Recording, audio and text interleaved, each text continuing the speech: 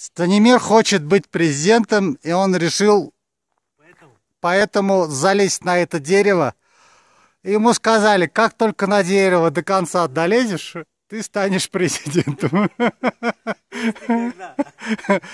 И вот он хочет э, без страховки залезть на президента. Давай, давай, вперед! Наверх. Наверх. Как до, до верху долезешь, будешь президентом.